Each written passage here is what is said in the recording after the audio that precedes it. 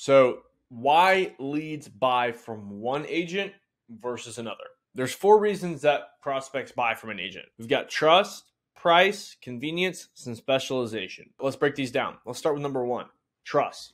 So, here are three things that you can do to build trust with a prospect fast so that you're not being outsold by some other agent that keeps coming behind you or is selling the people in front of you and you can't replace their business because they're writing good business. So, let's start with number one setting expectations and meeting them. Think of the conversation as a race to the finish line, and each checkpoint moves you one step closer to winning. So, for example, even if it's something as little as in this conversation, I'm going to go through a quick survey just to make sure that you know you qualify for this, and then going through the survey. That is just one example of how you can build trust by basically making small or medium sized commitments that you keep consistent throughout the entire conversation to get them to make a bigger commitment at the end. Number two, transparency and prioritizing them. So I'll explain to them that my goal is to make sure that they fully understand the programs and to see if they even qualify.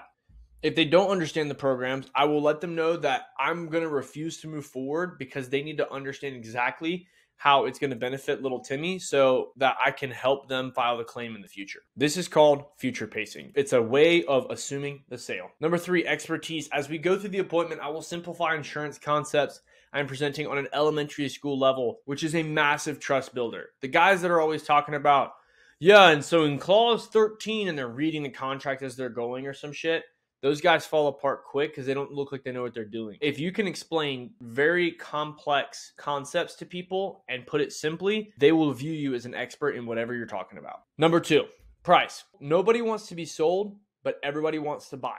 And this is why we sell on value, not on price. Because when I present them with a price and I don't tell them about anything else, then it sounds like they're just spending money just to spend money. And that makes no sense. So we've got to sell on value. What is it that they're getting from us when they actually want to purchase or when they actually make that decision, right?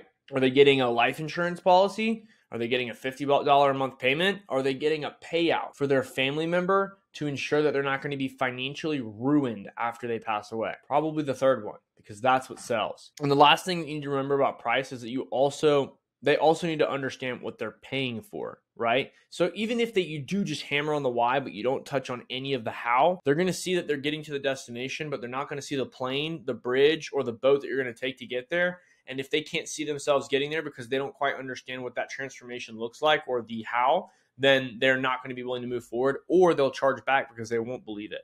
Let's talk about number three, which is convenience. If you don't close on the first shot, follow up. Only 2% of sales are made on the first point of contact. And so what we have to realize is that if we don't follow up, we're leaving 98% of the business on the table. 60% of consumers say no on the first four asks for the order. So keep that in mind when you get an objection or somebody tells you you need to think about it next time because you can still be their agent. It doesn't have to be someone else. You just have to take time to do it. And what we have to also realize is that the goal of the conversation is not to get them to buy, but it's to get them to make a decision. And while that might sound insane, it's a lot easier and there's a lot less pressure on you as a salesperson when the only thing that you need to focus on is to get them to decide and not to buy. Because if you want to get them to buy, you start to get sloppy because you're focused on the wrong thing, right? You're focused on trying to convince them to get something, which seems sleazy and makes you come off as a person with commission breath.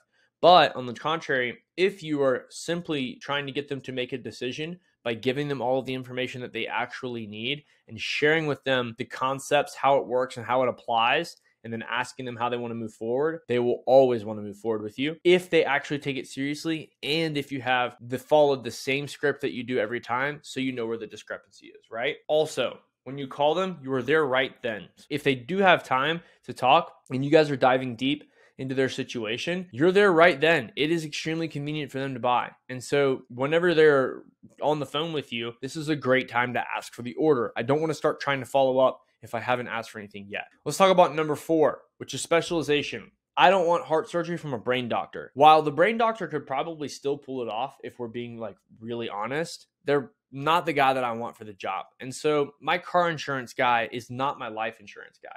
And so my life insurance guy can come in and replace life insurance that a car insurance guy might have with me because I'm a specialist. Or if they have no insurance and it's between me and that guy and I have a better rap because he's also worried about P&C, I'm squared away. I don't have to worry about it because she trusts me as I'm the expert since it's the only thing that I do and I'm specialized. Another thing that can help you here is dropping breadcrumbs about knowledge and experience. So, for example, whenever I'm talking with someone in a conversation, I might mention to them that I used to train agents or that I'm training agents currently. The reason I'll do that is because if I'm qualified to train, I'm definitely qualified to sell them a policy. I'll also tell them I've been in the business for quite some time now or make some sort of iteration like, oh, I remember when we were doing paper application because it makes me seem like I have been doing it for longer than I actually have if you're newer and if you aren't newer, then it does give credibility to the experience that you have. And the third thing is to simplify concepts. Don't overcomplicate these things.